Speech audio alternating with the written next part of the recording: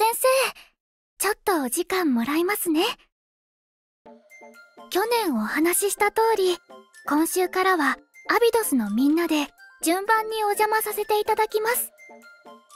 よろしくお願いしますね。それにしても寒いですね。ここに来る途中霜柱も立ってました。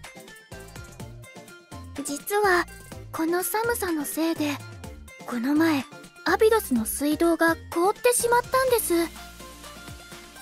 すぐに修理できましたがシャーレは大丈夫かなと心配になりまして。